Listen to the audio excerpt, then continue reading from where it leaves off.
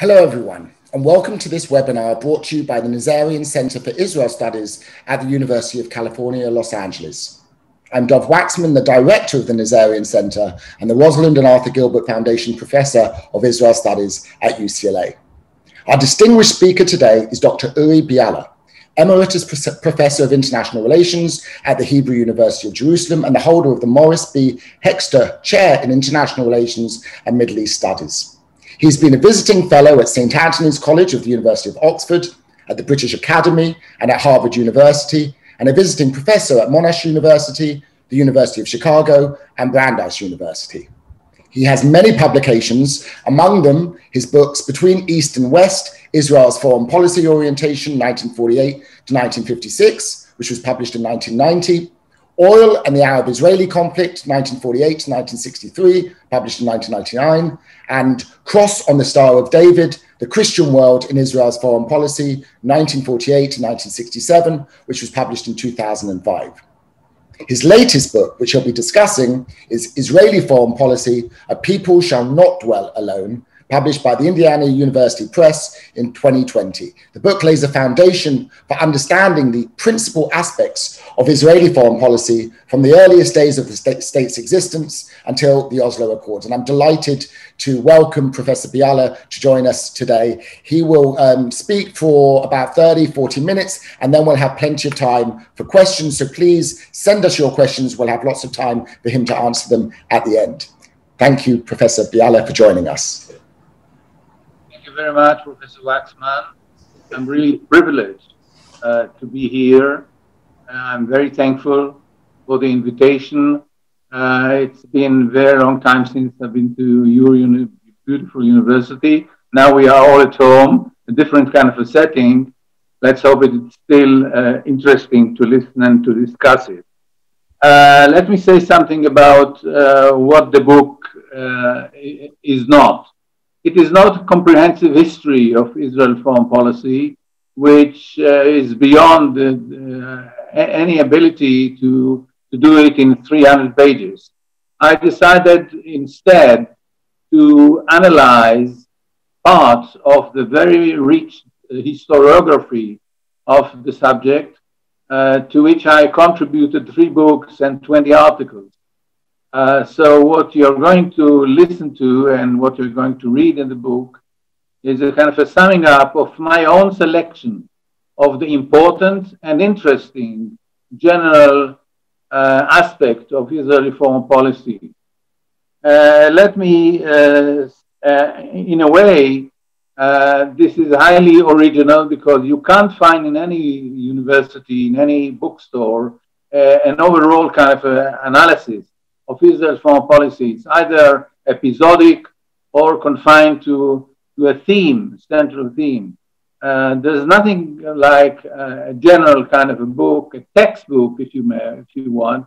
And this is what I was trying to do while uh, at the Schusterman Center uh, at Brandeis. Uh, let me, uh, I'm going to share with you two major points that I'm making in the book and seven, what I define as nuggets, uh, issues, uh, episodes, uh, questions, historical questions, which I solve, try to analyze on the basis of, of, the, of the rich historiography. Uh, let me start with, uh, with, with, the, with the first one. The first one says the obvious, and that is that you can't really discuss Israel foreign policy without, without um, giving due place to the history of Israel foreign policy, to the pre-state period. For various reasons, this has not been done. We have on the bookshelf either books dealing with Zionist history or books dealing with the foreign policy of Israel.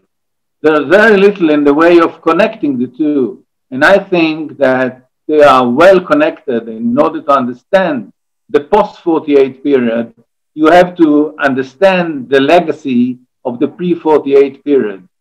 And I'm aiming at uh, several elements which should be remembered and analyzed. First of all, uh, the basis of Israel diplomacy, historical diplomacy, had to do with weakness, had to do with solidarity, and had to do with pragmatism.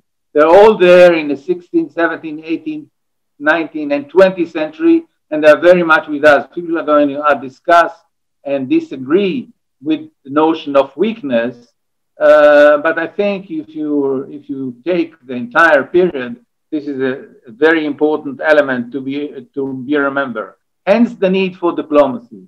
The Jews needed diplomacy. Uh, another element which is central to the legacy is the art of persuasion.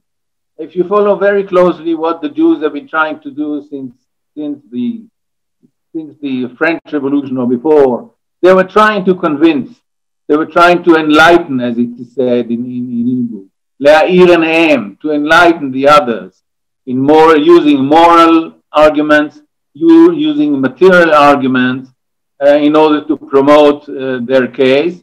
And usually, what the, the, the, the, man who did it was what was termed at the time a Hofjude, the Jew of the court, uh, who was trying to plead for the Jews and to, to secure their well being. Herzl, in a way, was a modern version of the Hofjude. Uh, in order to understand the, uh, the uh, legacy uh, you have, and this is what I've done in the book, you have to, to, to answer the question of the legacy of three historical periods, very important periods. One was the Jewish diplomacy of the pre, pre-19th century.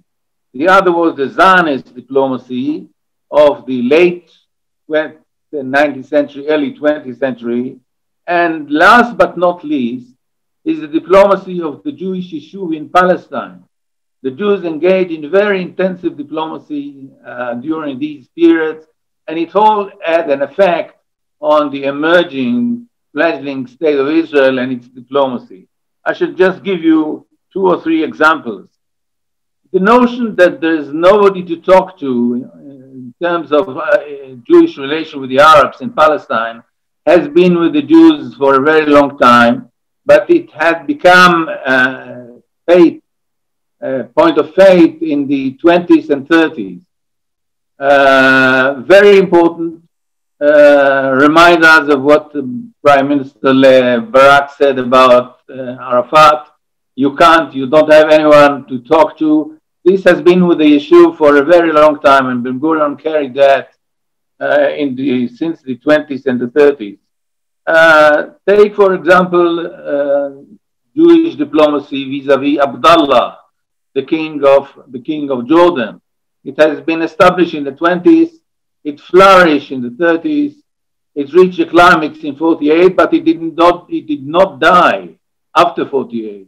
It is still very much with, uh, with us, and the relation with, with, with Abdullah, with the Hashemite, with the Hashemite kings and rulers, is very much with us even today. So, in order to understand, in order to understand the post 48, you need to follow very closely the pre 48.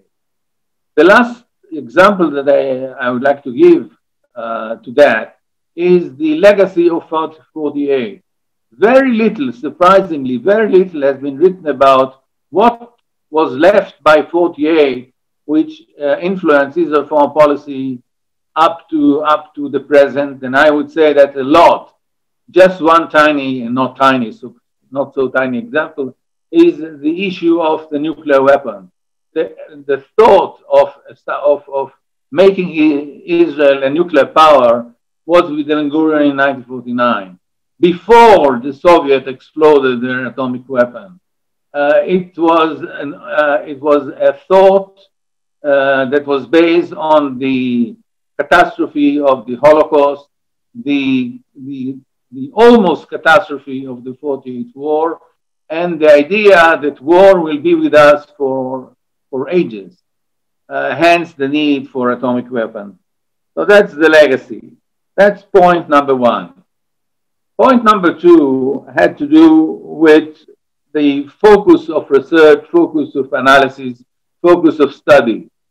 Uh, many people, uh, especially uh, political scientists educated in the United States, uh, emphasize endlessly the issue of war and peace, uh, the Arab Israeli conflict. So if you go to North America and you would like to teach the Arab Israeli conflict or anything to do with the foreign policy of Israel, you are expected to deal basically with the Arab Israeli conflict. Uh, this has not been my reading of the documents, and many others are supporting my view. Uh, I base my conclusion on reading of documents. Uh, just give you one example.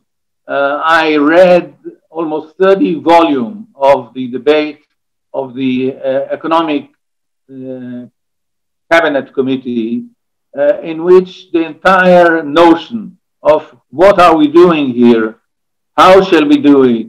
And the pyramidal structure of the aims of Israel foreign policy has been exposed.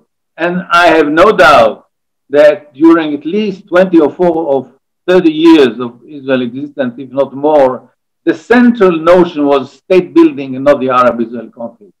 Ben Gurion, Sharett, Eshkol, Rabin, and the others were all worried about building up a state, a viable state, a strong state, uh, not just militarily, but economically, demographically, spiritually, etc.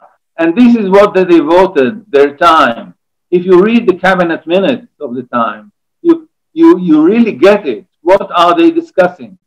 The Arab Israeli conflict, as far as my reading of, of, of, of, of the period is concerned, was more a mean than an end of itself. Uh, so this is a second point, a central point, which uh, should be borne in mind. This leads me to the, uh,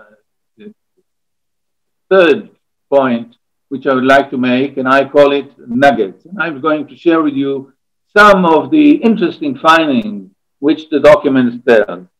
Let me start with uh, something which seemingly is a topical but not in the context of what I would like to, to tell you. Uh, the second state in the Middle East to have recognized Israel was Iran, or as it was termed at the time, Persia. Turkey was the first, Persia was the second, and the question arises what on earth did Israel have to do with Persia at the time? Uh, and the answer is that it had to do with immigration of Jews coming from Iraq they were trying to cross the borders illegally from Iraq, making their way to Palestine, and the only, vi- the only viable road which they could take was through Iran or Persia. And Israel, Israel followed the, the issue, and with the help of a bribe, as it was termed at the time, clinging argument, uh,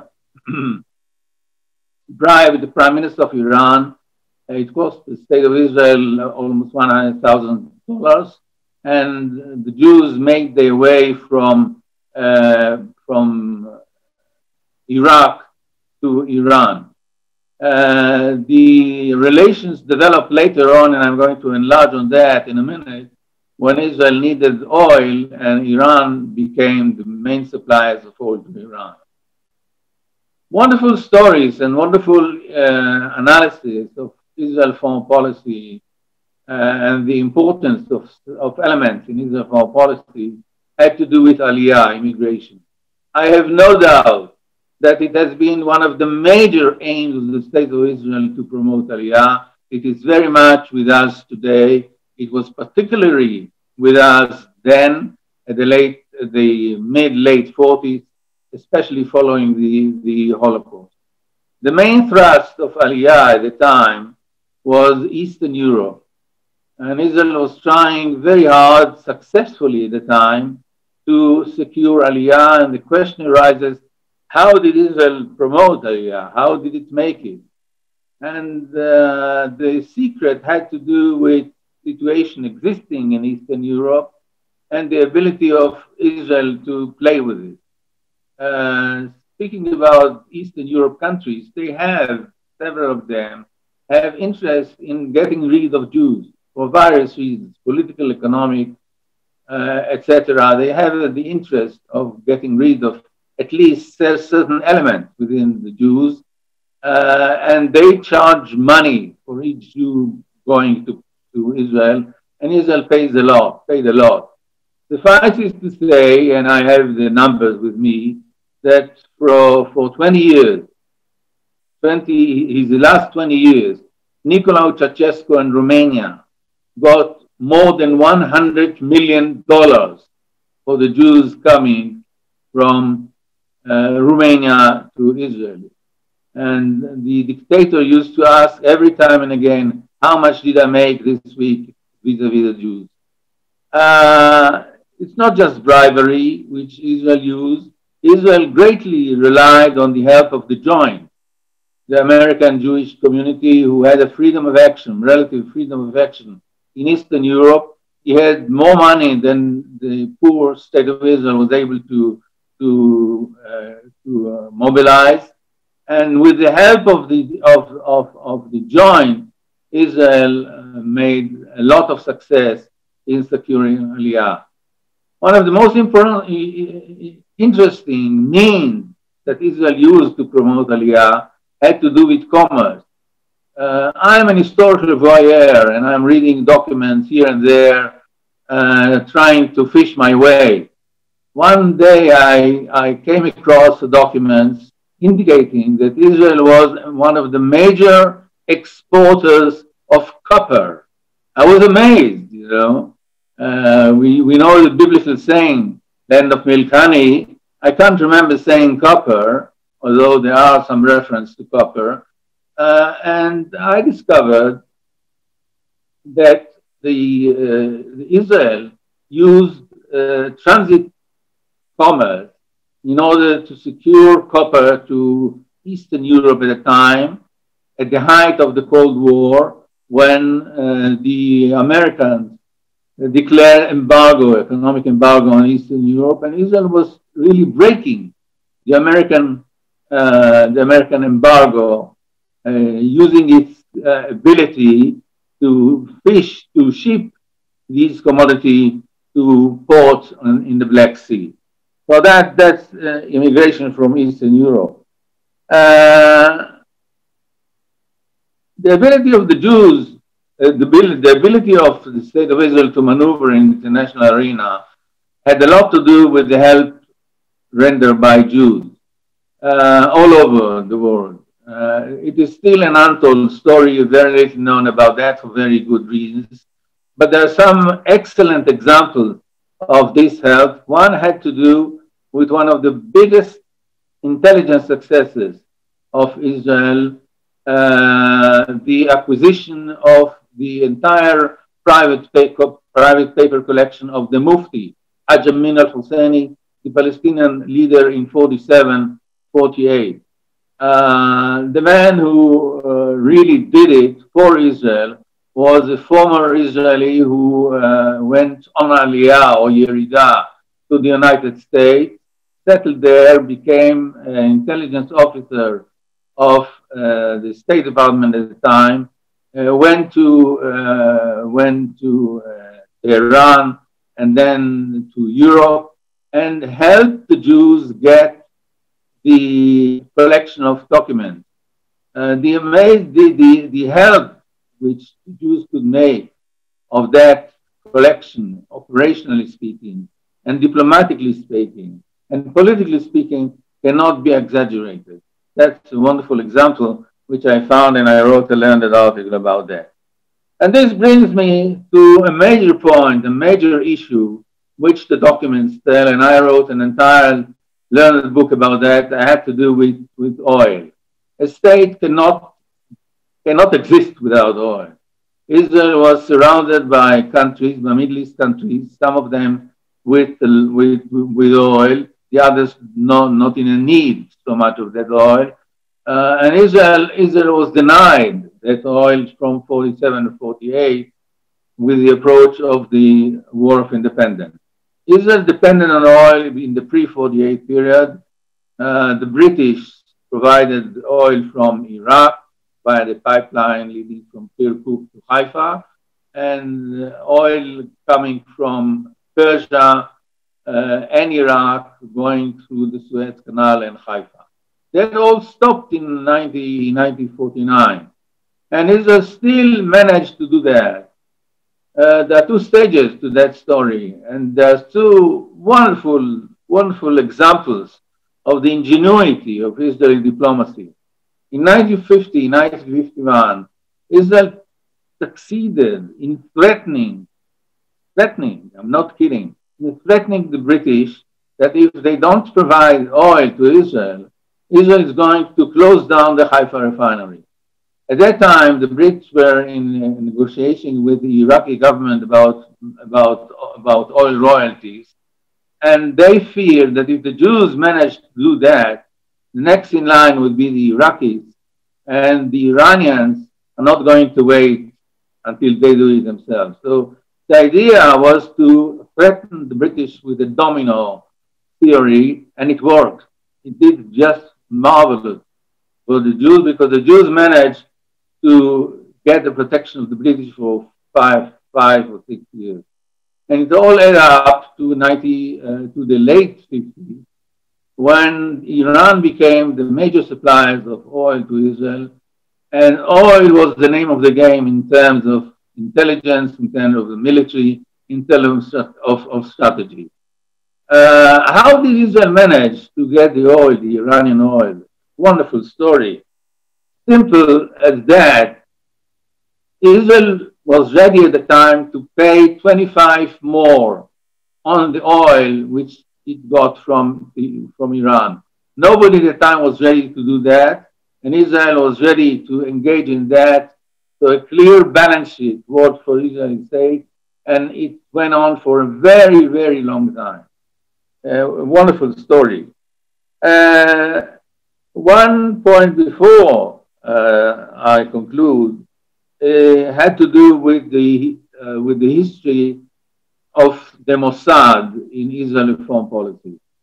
Uh, you know, this is a hidden dimension of Israeli foreign policy because we cannot enjoy, we cannot benefit from the documents of the Mossad.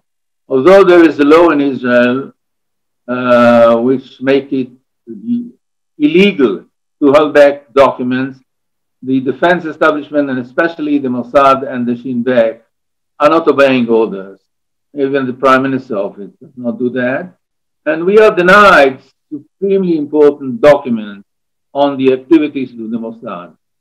One aspect of the Mossad activity had been exposed in my book, and I rely on others who did the, the, the footwork, the research, uh, and it appeared that in terms of our relation with Africa in the 50s and 60s, there were two players who had different kind of a game. Uh, you had the foreign ministry, who had their own kind of uh, aims and especially means of action, and you had the Mossad, who were playing a totally different kind of, of, of game. And I found out that the Mossad value Africa not so much because of its support of Israel uh, at the United Nations or in any international organization. The, uh, the main reason why the Mossad value uh, our Africa presence in, in, in uh, our Israeli presence in Africa had to do with the ability to engage in all kind of, of hidden activities which they were trying and managing to do for the sake of Israel. So the story is, is, is, is, is a wonderful story. Uh, let me end or uh, say something about a very interesting question which bothered historians for a very long time. Why did Israel go to war in 1956? Common wisdom is that Israel went to war against Nasser in 1956 because of the Czech arm deal.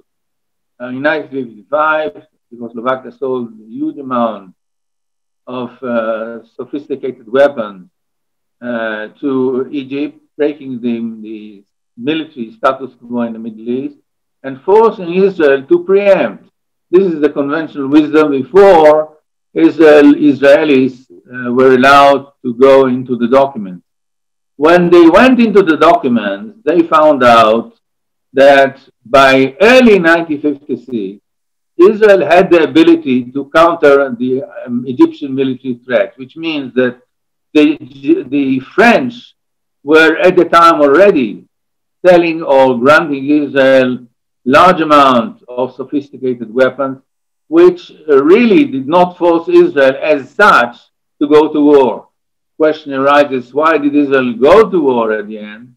And the answer the documents are giving, not one single answer, but a, a very interesting answer given by the document, is that Ben Gurion simply could not say no to the French. Uh, so it was not clear-cut defense calculation which forced Israel to invade Sinai in 1956, but the, the asking of the, especially the French, who was a very close ally at the time, military, not economically, but military and political ally of Israel, and Israel could not really stand back. Uh, let me uh, end with uh, two or three uh, comment about about failure in Israel foreign policy. If the impression is that I I I give high mark to the ingenuity of Israel diplomacy, Israel foreign policy, uh, you're right. You're not wrong.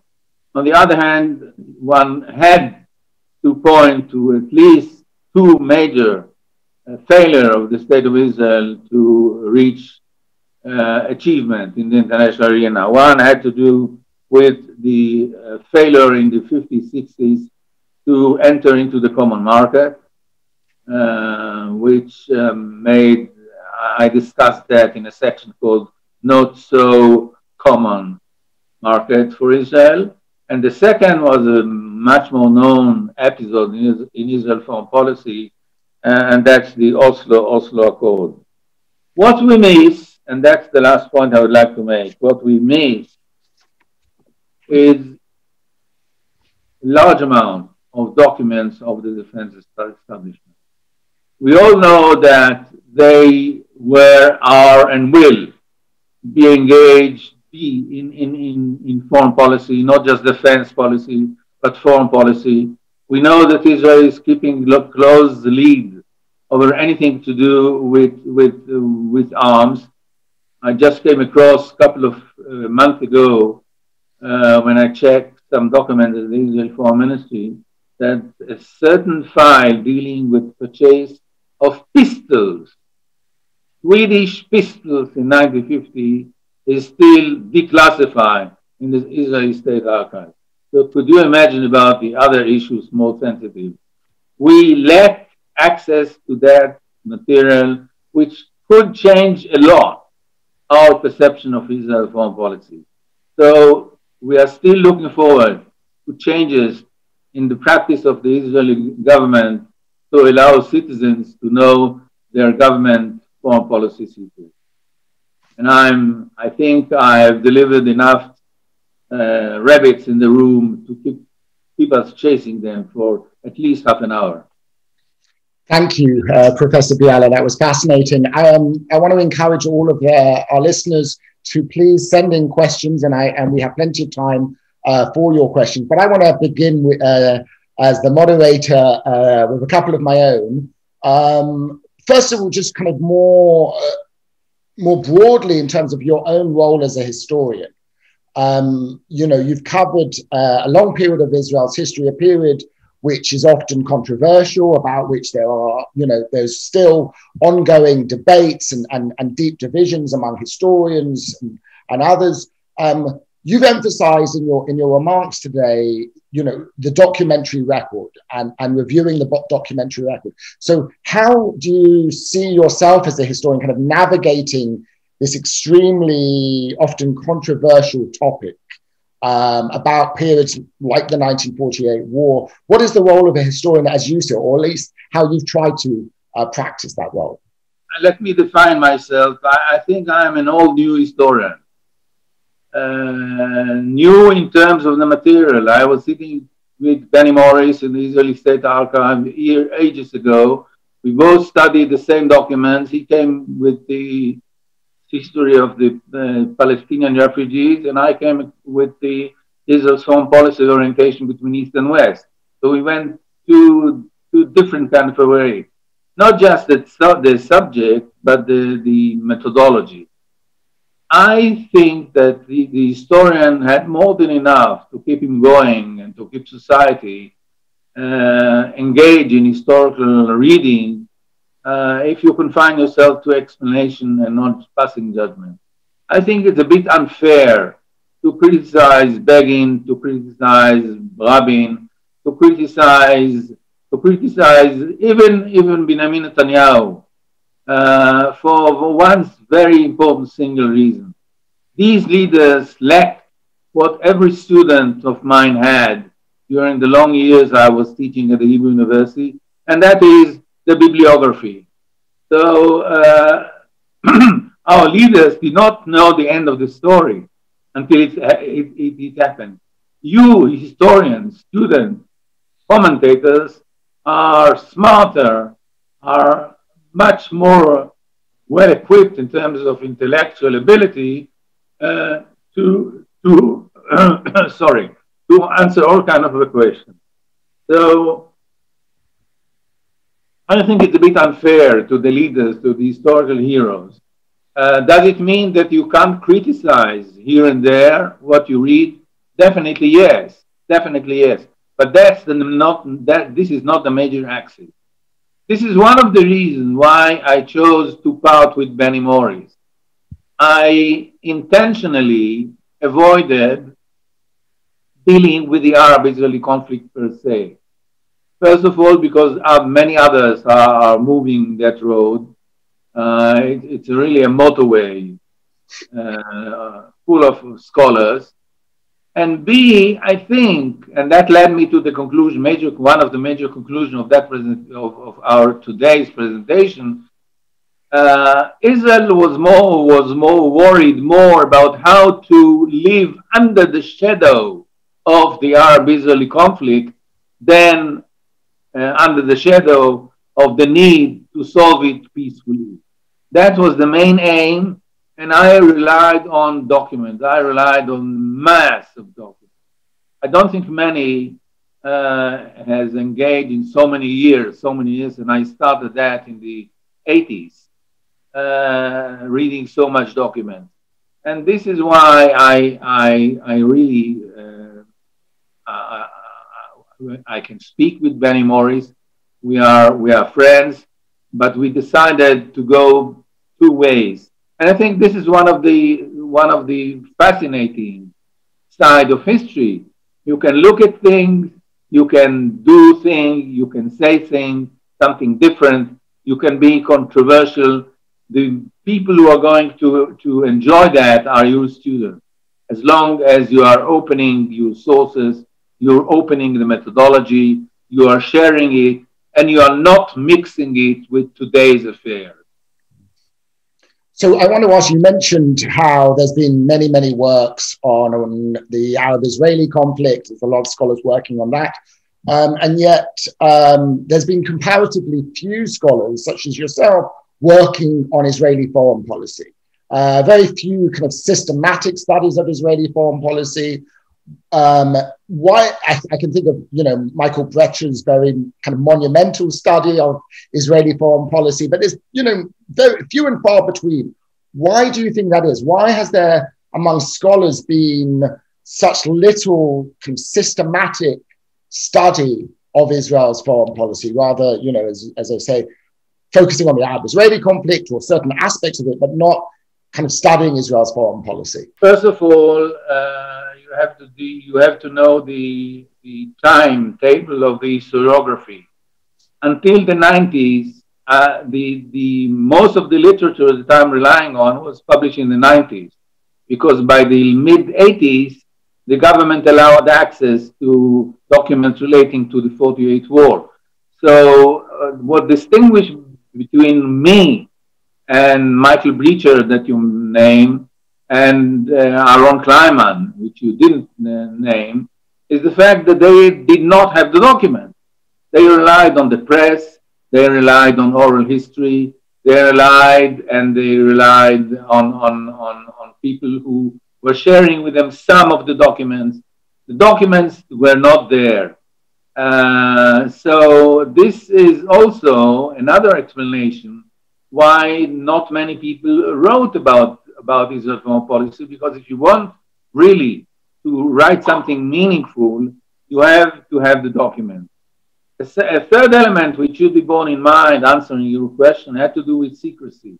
Israel is the only country in the world that I came across where you can find a book, a heavy book of more than 300 pages, uh, analyzing code names during a certain period of time. Uh, Israel, I have with me in my library this kind of book called Zar Lo Yavin, a stranger will not understand, of code name used during the mandatory period. Israel was very secretive in terms of foreign policy. It sounds very unreal during today when you read about the cabinet conclusions before they are being taken care of or decided upon. But that was not the situation for a very long time. This is why it made it very difficult for Michael Brecher and even Aaron Kleinman to engage in an ordinary research about Israel foreign policy. It all changed in the late 80s and early 90s. And my book is really a sign that we've come of age, that something is moving, and I expect this area of study to develop a lot during the forthcoming years. So I, I wanted just to follow on from that. Uh, you know, um, a very famous scholar of foreign policy and practitioner of uh, foreign policy, uh, Henry Kissinger, uh, I think uh, famously quipped that you know Israel has no foreign policy, only domestic politics. Um, what's your response to to that view that really you know it's just driven by domestic politics and coalition politics in particular, rather than any sort of systematic, coherent approach to foreign policy? Uh, it's a complicated, complicated question, fascinating question. Uh, you can engage in a whole seminar about that. Let me share with you some of my thoughts uh, about that. First of all, you have to distinguish between what the public is interested in and what the government is really doing or interested in. Uh, central issues of Israel foreign policy are beyond the interest not to say understanding of Israeli public. Take, for example, the common market, the issue of our relation with Europe. Aside from a couple of articles in the Haaretz, uh, you can't really find references in the press or in the popular press about Israel's relation with Europe, which is the major provider of economic uh, of, of, economic research and development in, in Israel.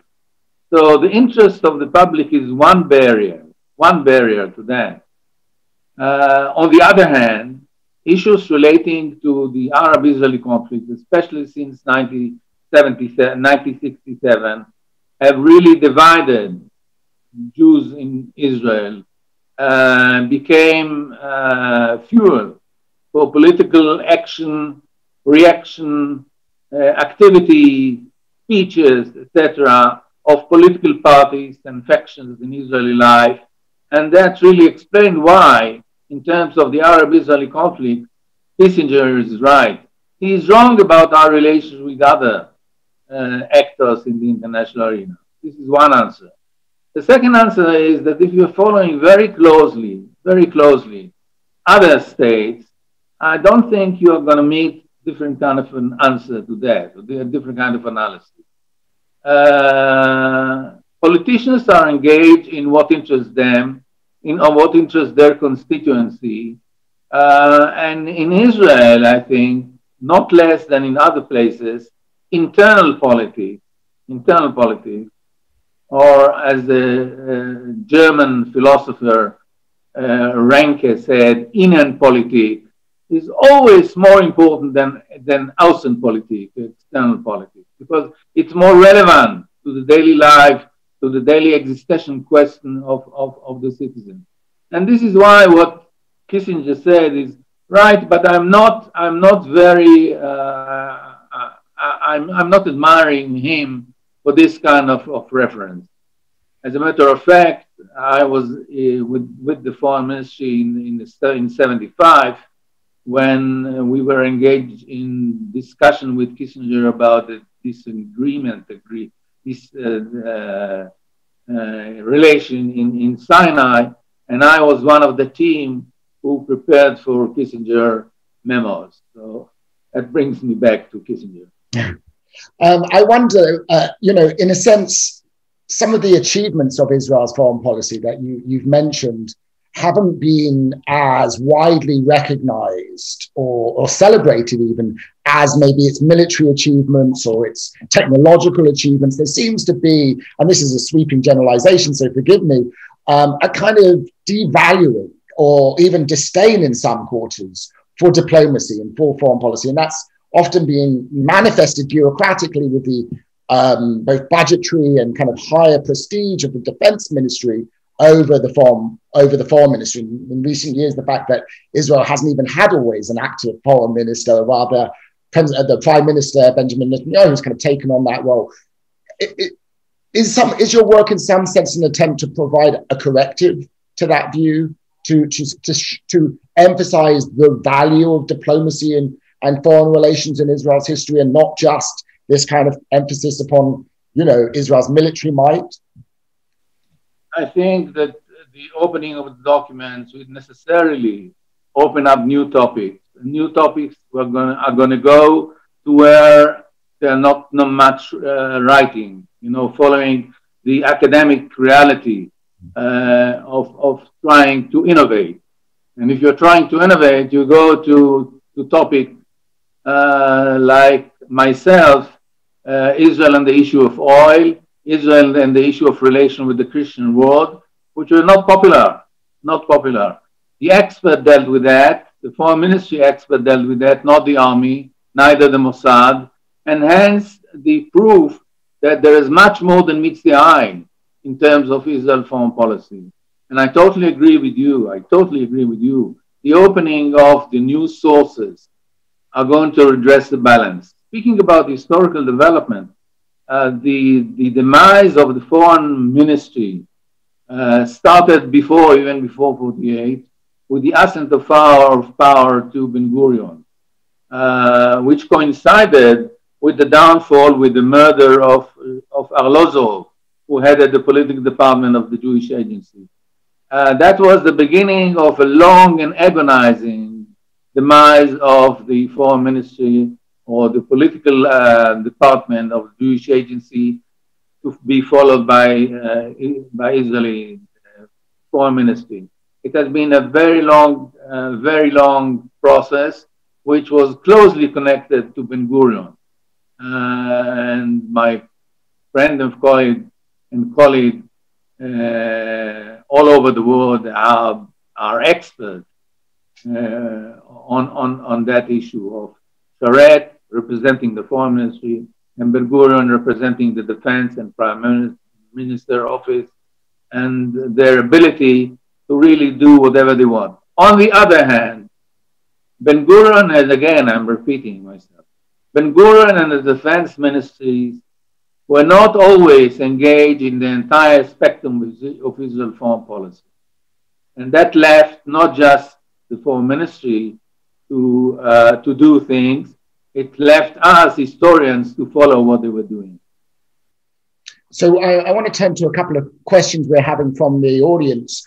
Um, uh, one question from uh, Gary Gilbert asks whether there's a difference in the foreign policy approaches of uh, Labour and Likud historically. Or, um, I mean, is there a kind of uh, long-term di- division of opinion about how Israel's foreign policy should be con- conducted between you know left and right or center left and center right? I don't think there was a major dis- debate about how to do foreign policy.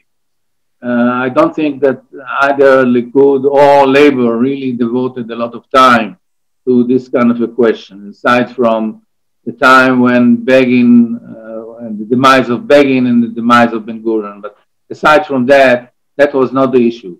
The, the issue was definitely the land of Israel. The issue was definitely resort to power, military power. Uh, the issue was definitely uh, relating to the, to the problem of borders at the time. And they differ. They differ. Begin different than Ben Gurion for sure. Uh, the time of the 50s, 60s, and even 70s witnessed the polarization of Israel foreign policy. On the other hand, the roots of the current situation, uh, if you follow very closely, we're all there. Uh, not so much the turn left of the of the Likud. This did not happen. Uh, the Likud witness turned to the right, uh, but the turning to the right within Labour Party that was a major kind of, of, of development which greatly affected Israeli political life later on. So um, we have a question about uh, Israel's relations with, with, with great powers. Um, and the, the, question asks whether you think it's important for Israel to develop relations with other great powers like China rather than rely largely on its relationship with the US. I want to kind of expand on that question a little bit and ask you about the belief that Israel needs a great power patron.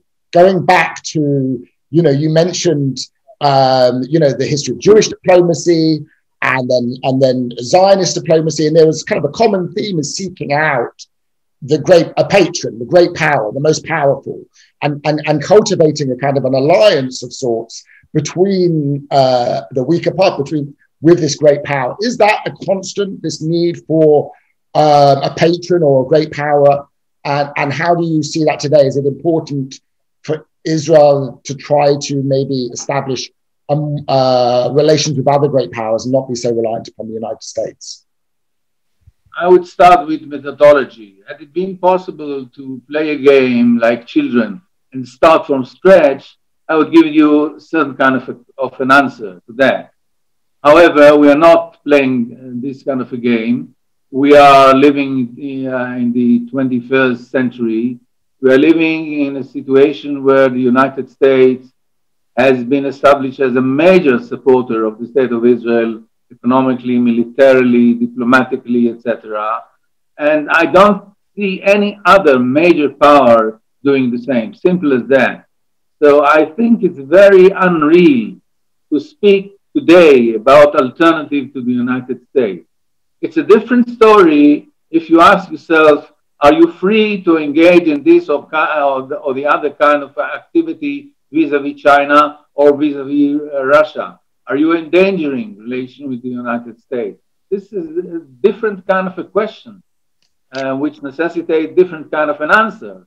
But uh, the clear-cut solution or the clear-cut declaration that you are looking for, I don't think it's realistic. It's even stupid.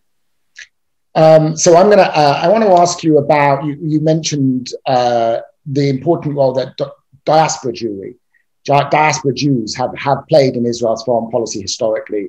Um, I want to ask you about how Israeli foreign policy makers have balanced the need to consider the interests of diaspora Jews and diaspora Jewish communities around the world in their foreign policy. How important, you mentioned Aliyah, but other than trying to encourage Jews to move to Israel and to make it possible for Jews uh, to move to Israel, how else has Israel tried to address the, the, the needs, the concerns of diaspora Jews? Has that sometimes, especially when that's come at the intention with their relations with other states, like, I mean, most famously, you have the Soviet, Union, but also many other countries like uh, Argentina or South Africa, where Israel has maintained relations, which also have their own diaspora Jewish communities that have sometimes um, not been happy about those relationships, let's say? Um, I think the, the acid test of your question uh, is a situation which simplifies simplified the, the, the problem, and that is what do you do when there is a situation where on the one hand you have raison d'etat, Israel as a, as, as a d'etat, the, the state, and Jewish interest. How do you play the game? Uh, scholars have been researching that not very profoundly because they lack documents. This is considered, still considered a sensitive topic in, in Israel for very good reasons. They came to the conclusion that, basically speaking, and overall, Israel has opted almost every time and again for raison d'etat. Uh, the, the examples are, are, are many. You spoke about Argentina. I would remind the audience that Israel decided to, to kidnap uh, Eichmann from Argentina, there was no realpolitik reasons for that. Ben Gurion did it for educational reasons. That was it. That was the reason for Ben Gurion doing it. So it was not realpolitik on the one hand and the Jews on the other. It was uh, something to do with educating Israeli youngsters about the Holocaust vis-a-vis the interest of Jews in Argentina. And Ben Gurion did not hesitate, did not hesitate at all to opt for raison d'etat. And the price that Israel paid for that was very dear. The same applied to Israel's relation with, with, uh, with Argentina in terms of weapons at the time for a very long time. Although in this case you have a raison d'etat, selling arms, uh, interests of the defense establishment for doing that on the one hand, and Jews, liberal Jews in Argentina on the other. So you can go on and, and find many other examples. And the rule of the thumb is that Israel is, an, in terms of relation with the Jews, very egoistic. Thank you. So I want to ask a question um, uh, from uh, Ari Kacowicz, who's uh, who I'm sure you know well, um, asking you about um, whether you would characterize, if you take away the kind of Jewish dimension of Israeli foreign policy, whether uh, you would characterize it as a realist foreign policy. I mean, is essentially is is Israeli foreign policy a reflection of Israel's size, geogra- uh, geostrategic significance? It's it's uh, small. Is it driven by these factors and the kind of cultural or historical legacy? The Jewish legacy is relatively unimportant. Would you say a kind of realism is the best uh, uh, international relations theory to describe Israel's foreign policy historically? Again, again, uh, the answer is the question is, is, is excellent, and I thank you, Aria, for raising it. Aria was a former student of mine at the Hebrew University, following my track, and he's teaching international relations and foreign policy at the Hebrew University. So, greeting, Aria. Uh, the question had to do with the with percentage. I mean, uh, we all know, we all know that the the question is the question is the how do how did you define that the the realist uh, the kind of re- oh, yeah you find realism. Uh, I would say that three quarters of the Israeli decisions in terms of foreign policy are based on realpolitik. I was for preparing that lecture. I looked for cases which I can share with you about uh, issues where Israel opted for idealpolitik and not realpolitik. I came across the first example had to do with Spain. Israel declined to, to shake hands with the French, with the Spanish uh, in the 50s because they were supporting Hitler at the time. And there were other cases where Israel played this kind of a game. But on the other hand, most of the cases I can remember of, realpolitik really explained it. So if I, if, if, I go, if I go to the moon and I have to teach Israel foreign policy to people who are living in the moon, I would say that basically speaking, Israel is really a realpolitik kind of a state, with exceptions. So we have a, um, uh, time for a couple more questions. I want to ask a question that's coming from uh, Jeff uh, Zimmerman, who's asking about the role of leader, uh, Israeli leaders, Israeli prime ministers? Has there been a, a particular prime minister, perhaps Ben Gurion, uh, or, or, or, his one of his successors, who's really um, altered the path of Israeli foreign policy, has really had a decisive influence in, in shaping Israeli foreign policy and maybe changing the, its, di- its direction? Uh, another simple and complicated question on the one hand, there is no argument that Ben Gurion is still considered to be the most influential prime minister Israel ever, ever had. And I won't go into that. Suffice is to follow what was written about Ben Gurion. Suffice is to understand that there was no really revisionist approach vis-a-vis Ben Gurion. People can uh, criticize here and there but basically speaking, they all admit that the man was uh, really uh, unique in terms of ability, in terms of influence, in terms of perception, in terms of, of, of the power to carry a fledgling state with him. So Ben Gurion is, is a definite answer. Uh, others were not so clear. The answer is not so clear. No, I don't want to go into that. I would like to elaborate on something which people are not aware of. Uh, the prime minister differed one another in their ability to work with, with, with foreign minister, with the defense establishment, etc. And not just leading the state, they are orchestrating an administrative machinery. And you would be surprised to have my opinion that Shamir was a first class prime minister. And I'm speaking from inside knowledge about the foreign ministry. He was a first class uh, foreign ministry official. He was not a foreign minister at the time. I speak about the abilities of prime minister. So that that that that, that this is very interesting. Uh, but they were different. They, they differ. Uh, Rabin in the first tenure was not such such a good prime minister. The second time was a much better prime minister and was murder alarm. Uh, uh you all know. Uh, Golda Meir was not so much, not not a good um, foreign minister. Neither was he a prime, good prime minister at the time. Eshkol was a superb prime minister that could surprise people. Historians are united in their in their verdict that uh, Eshkol played qualifications which made him really primus inter pares. Uh, his ability to compromise, his ability to work with people, his ability not to antagonize, his building bridges to the enemies, his ability to prevent unnecessary war for six or seven years. We know the story now, uh, and made him a really a prominent prime minister. So it, it, it's a wonderful topic. I would strongly urge students uh, to engage in this kind of comparison and perhaps to give us a reason to ask to be to ask to your uh, webinar and, and speak about that. I'm, I'm ready to comment.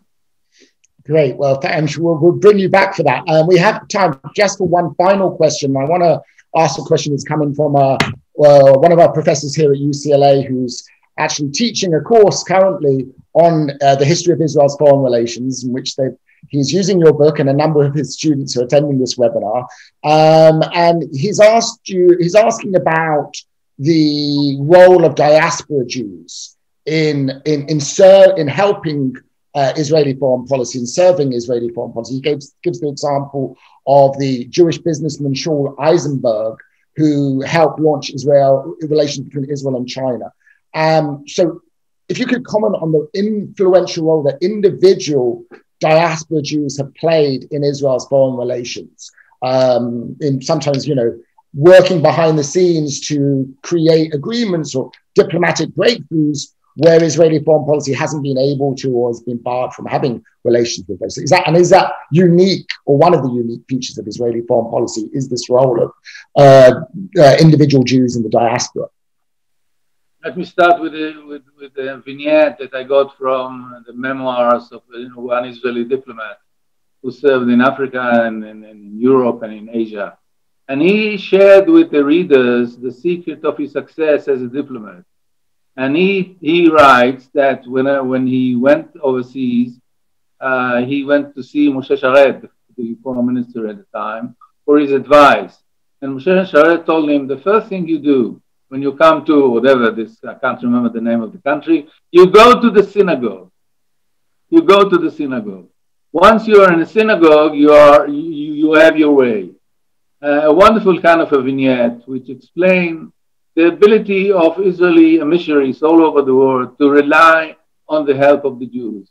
And this is the kind of stories which are not told so much, and not because they raise the issue, the notion of the dual, dual loyalty of many, many Jews. But if something happened and these documents are being disclosed, that could be a major, a major contribution to the foreign policy of Israel. There's no doubt to me, and I came across many in, in real life and in, in, in historiography and bibliography. There are many, many people who, uh, to whom the state of Israel owe gratitude for, for rendering help. A wonderful topic, another wonderful topic.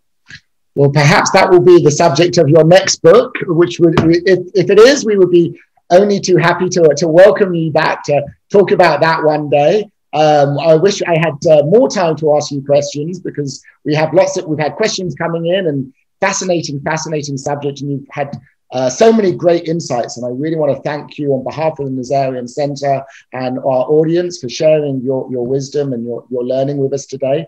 And I want to thank all of the audience for joining us on this webinar. Um, uh, on behalf of the Nazarian Center for Israel Studies, I thank you and hopefully I'll see you again soon. Thanks. And thank you so much for inviting me and thank you for the audience for the very illuminating and, and, and, and interesting questions.